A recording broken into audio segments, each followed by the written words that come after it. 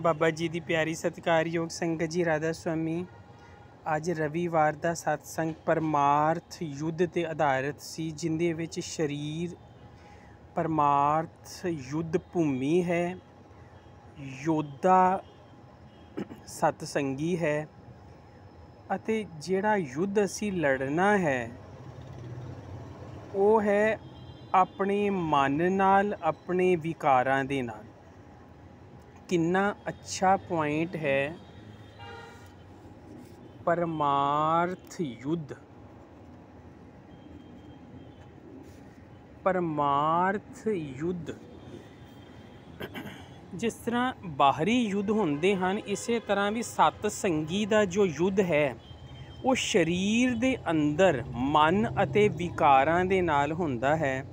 ਇਹਦੇ ਵਿੱਚ ਸਤ ਸੰਗੀ ਯੋਧਾ ਹੈ ਵਿਕਾਰ ਅਤੇ ਮਨ ਦੁਸ਼ਮਣ ਨੇ ਤੇ ਰਨ ਭੂਮੀ ਸਾਡਾ ਸਰੀਰ ਹੈ ਤੇ ਜੋ ਸਾਰਥੀ ਹੈ, ਉਹ ਸਤਿਗੁਰੂ ਹੈ। ਜਿਸ ਤਰ੍ਹਾਂ ਮਹਾਭਾਰਤ ਦੇ ਯੁੱਧ ਦੇ ਵਿੱਚ ਅਰਜੁਨ ਦੇ ਜੋ ਸਾਰਥੀ ਸਨ, ਸ਼੍ਰੀ ਕ੍ਰਿਸ਼ਨ ਸੀ, ਇਸੇ ਤਰ੍ਹਾਂ ਇਸ ਯੁੱਧ ਦੇ ਵਿੱਚ ਸਾਡੇ ਸਾਰਥੀ, ਸਾਡੇ ਸਤਿਗੁਰੂ ਹਨ। ਦੇਖੋ ਕਿੰਨਾ ਅੱਛਾ ਪੁਆਇੰਟ ਲਿਆ ਹੈ ਪਰਮਾਰਥ ਯੁੱਧ ਤੇ। ਕਈ ਵਾਰੀ ਤਾਂ ਸਤਸੰਗ ਇੰਨਾ ਅੱਛਾ ਹੁੰਦਾ ਹੈ ਕਿ ਮਨ ਵਿੱਚ ਆਂਦਾ ਹੈ ਕਿ ਸਤਸੰਗ ਖਤਮ ਹੀ ਨਾ ਹੋਵੇ।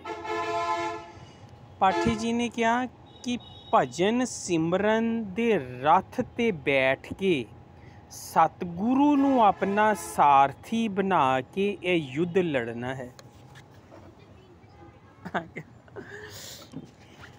ਤੋ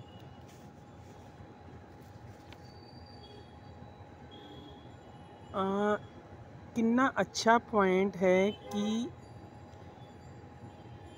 ਭਜਨ ਸਿਮਰਨ ਦੇ ਰਥ ਤੇ ਬੈਠ ਕੇ ਸਤਿਗੁਰੂ ਨੂੰ ਆਪਣਾ ਸਾਰਥੀ ਬਣਾ ਕੇ ਫਿਰ ਇਹ ਯੁੱਧ ਲੜਨਾ ਹੈ ਕਿੰਨਾ ਅੱਛਾ ਪੁਆਇੰਟ ਹੈ ਔਰ ਰੱਥ ਦੇ ਜੋ ਚਾਰ ਪਹੀਏ ਹਨ ਉਹ ਹੈ ਸੱਚਾਈ ਬ੍ਰਹਮਚਾਰਯ ਪਾਕ ਜੀਵਨ ਦੇਖੋ ਕਿੰਨੇ ਅੱਛੇ ਤਰ੍ਹਾਂ ਸਮਝਾ ਰਹੇ ਹਨ ਕਿ ਰੱਥ ਦੇ ਜੋ ਚਾਰ ਪਹੀਏ ਹਨ ਉਹ ਸਾਡੇ ਗੁਨਾ ਦੇ ਉੱਪਰ ਖੜੇ ਹਨ ਇਸ ਕਰਕੇ ਸਾਰਥੀ ਸਾਡਾ ਸਤਿਗੁਰੂ ਹੈ ਔਰ ਯੁੱਧ ਸਾਡਾ ਵਿਕਾਰ ਤੇ ਮਨ ਦੇ ਨਾਲ ਹੈ ਤੇ ਜੋ ਕਵਚ ਅਸੀਂ ਪਹਿਨ ਕੇ ਯੁੱਧ ਭੂਮੀ ਦੇ ਵਿੱਚ ਜਾਣਾ ਹੈ, ਉਹ ਕਵਚ ਦੇਖੋ ਕਿੰਨਾ ਅੱਛਾ ਕਹਿ ਰਹੇ ਹਨ ਕਿ ਸਤਿਗੁਰੂ ਦੀ ਜੋ ਸ਼ਰਨ ਹੈ, ਸਤਿਗੁਰੂ ਦੀ ਸ਼ਰਨ ਸਾਡਾ ਕਵਚ ਹੈ, ਸਤਿਗੁਰੂ ਦੀ ਜੋ ਸ਼ਰਨ, ਉਹਦਾ ਕਵਚ ਪਾ ਕੇ ਫਿਰ ਅਸੀਂ ਪਰਮਾਰਥ ਯੁੱਧ ਭੂਮੀ ਦੇ ਵਿੱਚ ਜਾਣਾ ਹੈ। ਕਿੰਨਾ ਅੱਛਾ ਪੁਆਇੰਟ ਪਰਮਾਰਥ ਯੁੱਧ ਦੇ ਉੱਪਰ ਜਿਸ ਤਰ੍ਹਾਂ ਦੂਸਰੇ ਯੁੱਧ ਹੁੰਦੇ ਹਨ, ਇਸੇ ਤਰ੍ਹਾਂ ਅਸੀਂ ਰੋਜ਼ ਭਜਨ ਸਿਮਰਨ ਦੇ ਵਿੱਚ ਇੱਕ ਯੋਧਾ ਦੀ ਤਰ੍ਹਾਂ ਉਤਰਨਾ ਹੈ। ਸਤਿਗੁਰੂ ਨੂੰ ਸਾਰਥੀ ਬਣਾਉਣਾ ਹੈ, ਸਤਿਗੁਰੂ ਦਾ ਸ਼ਰਨ ਦਾ ਕਵਚ ਪਾਣਾ ਹੈ ਔਰ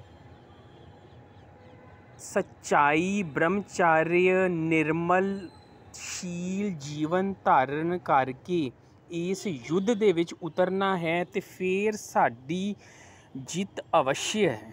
ਕਿਉਂਕਿ ਜਦੋਂ ਪ੍ਰਮਾਤਮਾ ਸਾਡੇ ਨਾਲ ਹੈ, ਸਤਿਗੁਰੂ ਸਾਡੇ ਨਾਲ ਹੈ ਤੇ ਭਜਨ ਸਿਮਰਨ ਦੇ ਵਿੱਚ ਇਹ ਜਿਹੜੀ ਅਸੀਂ ਰੋਜ਼-ਰੋਜ਼ ਲੜਾਈ ਲੜਦੇ ਹਾਂ, ਉਹਦੇ ਵਿੱਚ ਸਾਡੀ ਜਿੱਤ ਜ਼ਰੂਰ ਹੋਏਗੀ। ਦੇਖੋ ਕਿੰਨਾ ਅੱਛਾ ਪੁਆਇੰਟ ਹੈ, ਇਹਨੂੰ ਆਪਣੇ ਜੀਵਨ ਦੇ ਵਿੱਚ ਧਾਰਨ ਕਰਨਾ ਹੈ। ਅੱਜ ਦਾ ਜੋ ਮੇਨ ਸਾਰਾ ਸਤਸੰਗ ਸੀ, ਉਹ ਪਰਮਾਰਥ ਯੁੱਧ ਦੇ ਉੱਪਰ ਸੀਗਾ। ਇਹ ਅਸੀਂ ਇੱਕ ਪੁਆਇੰਟ ਲਿਆ ਹੈ, ਜੋ ਕਿ ਬਹੁਤ ਹੀ ਅੱਛਾ ਹੈ ਕਿ ਪਰਮਾਰਥ ਯੁੱਧ ਅਸੀਂ ਕਿਸ ਤਰ੍ਹਾਂ ਰੋਜ਼ ਲੜਨਾ ਹੈ।